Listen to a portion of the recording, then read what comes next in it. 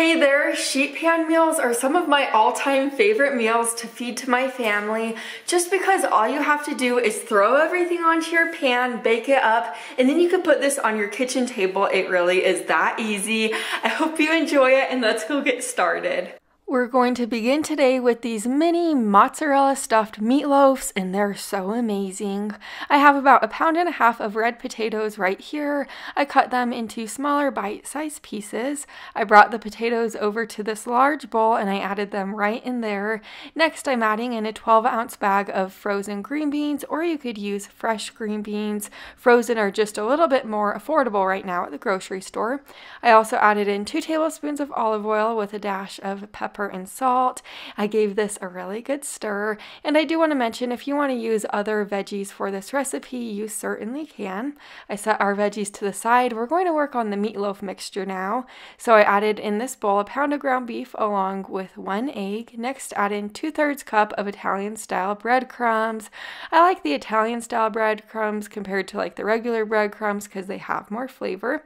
Then I added in two tablespoons of ketchup, a tablespoon of minced garlic, followed by a tablespoon of yellow mustard and a tablespoon of Worcestershire sauce.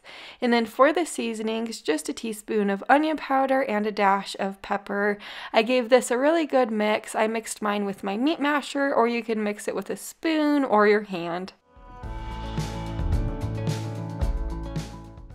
I have my sheet pan here and I lined it with aluminum foil. Now I'm spraying it with plenty of nonstick spray. Then I grabbed our vegetables that we made up earlier and I just dumped them onto my sheet pan. And as you see, I'm spreading them out to the best of my ability right now. Next, I grabbed our meatloaf mixture that we made up earlier.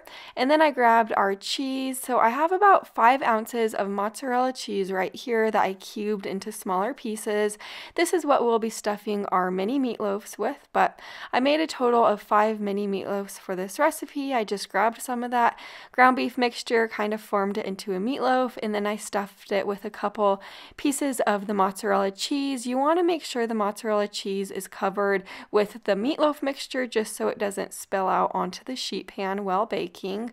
But now that we have all the meatloafs on my sheet pan, I put about a tablespoon more ketchup on top of each of the mini meatloafs. This will give it some added flavor. Then I brushed it on. This baked in a preheated oven to 400 degrees for about 25 to 28 minutes or until the ground beef was cooked through.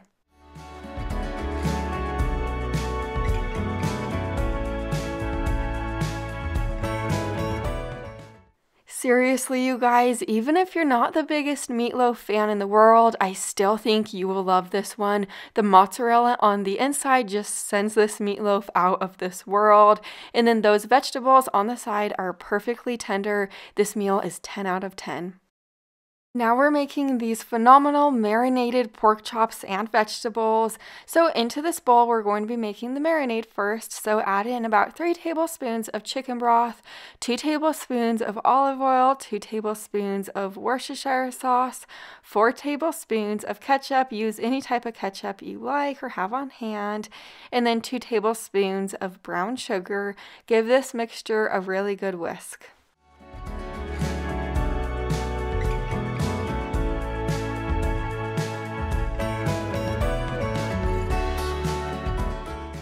Just for easy cleanup in the end, I'm marinating my pork chops in a large gallon size Ziploc bag, but you could marinate your pork chops in a big bowl if you'd like to. I added my four bone-in pork chops into the bag and then I poured the sauce all over the top of the pork chops. If you'd rather use boneless pork chops, you can as a substitute. And then I'm going to give this a really good shake and I like to let this marinate in my fridge for like eight hours, pretty much all day, but if you don't have time time to let this marinate for eight hours. You could do 30 minutes, or you don't even really have to let it marinate if you don't have time. I totally understand. But I have my sheet pan lined with aluminum foil. I'm going to be adding about a pound and a half of red potatoes onto the sheet pan, and I'm also adding a couple cups of fresh broccoli florets. I'm going to spray them with a little bit of oil spray, or you could drizzle with some olive oil. Then I'm seasoning them with salt and pepper, but you could season season with any seasonings that you enjoy. I kind of gave this a stir to let those veggies get coated in the oil and the seasonings. Dump those pork chops right onto that sheet pan and kind of spread them out so they're not overlapping each other. And if you have any extra marinade in your bag, just pour that marinade out over the vegetables for some added flavor. This baked in a preheated oven to 375 degrees for about 18 minutes. And then I broiled this for an extra three minutes at the end to kind of caramelize the sauce. These pork chops have so much wonderful flavor. Even my little toddler enjoys this recipe. I really need to be cooking with pork chops more often. Sometimes I forget how budget friendly they are and how delicious. Now we're making this orange chicken, so to get it started, we're going to cut up our veggies first. So you're going to want to slice one bell pepper, any color, into smaller pieces. I forgot to get a bell pepper at my grocery store, but I had some of these sweet peppers on hand, so I used those instead. And then I cut one head of broccoli into smaller pieces as well. Now to work on the orange chicken sauce, in this bowl I added in a tablespoon of minced garlic and a tablespoon of minced ginger. This is the ginger paste I used it makes adding ginger to recipes really easy. Then I added in a half a teaspoon of crushed red pepper flakes, a dash of pepper, and a dash of salt.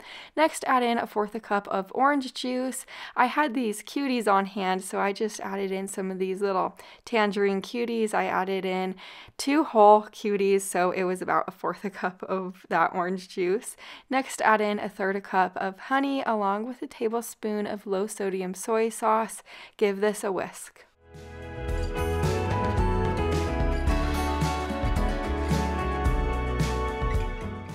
Now I'll be pouring the sauce into a large Ziploc bag, and if you're wondering why I'm doing this, it's just because I like to let the chicken marinate in the sauce for a little while. I think it gives it added flavor. But then I added in a pound and a half of chicken tenderloins and I gave this a shake. If you don't have time to let this marinate, you could just cook it up right after you coat the chicken in the sauce. But something else you can do is before work in the morning, you can make up this sauce and let the chicken marinate all day while you're at work. I pulled out my sheet pan, lined it with parchment paper. I added my veggies and then I sprayed them with a little bit of oil spray and then I seasoned them with pepper and salt. I gave the veggies a little stir to get coated in the oil and seasonings. Then I grabbed my chicken and then I poured it right onto my sheet pan and any excess marinade in the bag, I kind of just drizzled it over the veggies. I gave this a stir so the chicken wasn't overlapping and I baked this in a preheated oven to 400 degrees for about 22 to 25 minutes or until the chicken was cooked through. And here's the finished product. That chicken has the perfect amount of sweetness and orange tasting flavor. It is just so, so delicious. And then those veggies are cooked up perfectly. I like to serve this alongside of cooked up white rice and I sprinkled everything with a little bit of red pepper flakes. Now we're making these seasoned chicken strips. So to get them started, I have about two large chicken breasts right here. I'm going to cut the chicken breasts into smaller strips just like this, or you could use chicken tenderloins if you'd like, but sometimes I like to just cut my chicken breasts into strips.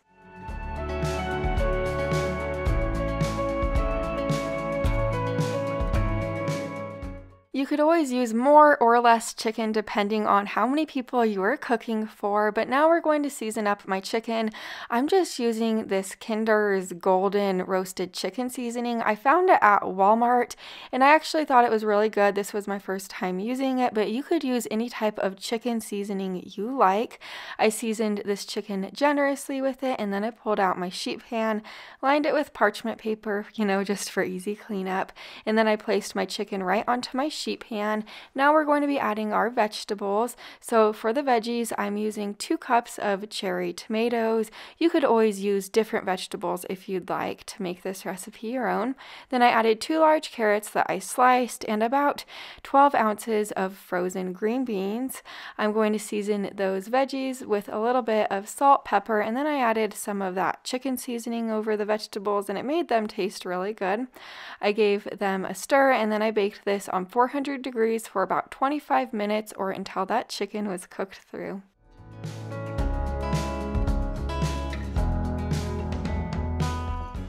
Here's what dinner looks like. This is one of those sheet pan meals that you could easily meal prep just because the leftovers are just as good as cooking it the same day. And you can make different variations of this by adding different veggies or subtracting veggies or adding different seasonings. Now we're making these stuffed bacon wrapped chicken breasts and oh man. So to get them started, I have a fourth a cup of shredded sharp cheddar cheese right here and a fourth a cup of mozzarella cheese.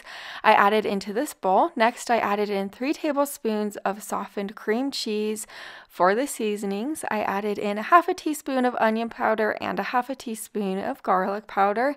Next, I added in a dash of pepper and salt. I gave this a really good stir so these cheeses were combined well.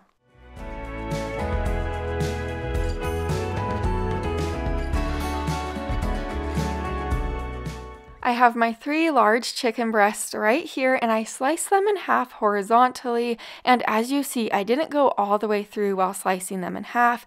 I kind of just created a pocket. Now we're going to be generously filling each of the chicken breasts with some of that cheesy mixture.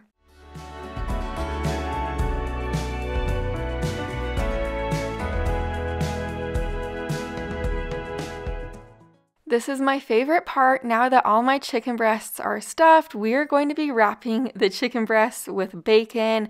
I'm just using regular bacon and I used about one to two slices for each chicken breast. Just gauge it depending on how big your chicken breasts are.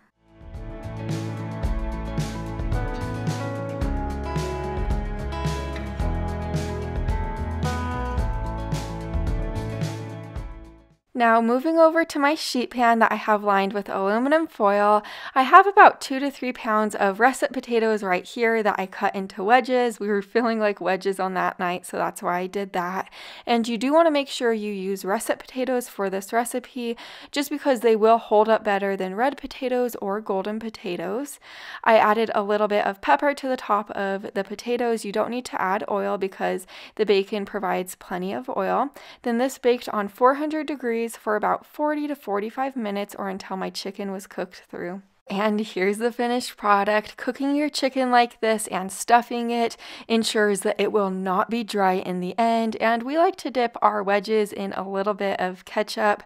That chicken is not your normal chicken, it's so good. And then I served it with a side salad with tomatoes, broccoli, and a little bit of celery. And this ranch is super good. I definitely recommend it. I hope you found a yummy recipe for yourself today and I have plenty more videos like this on my channel so make sure you're subscribed so you don't miss any more in the future. I'll see you in the next one. Bye for now.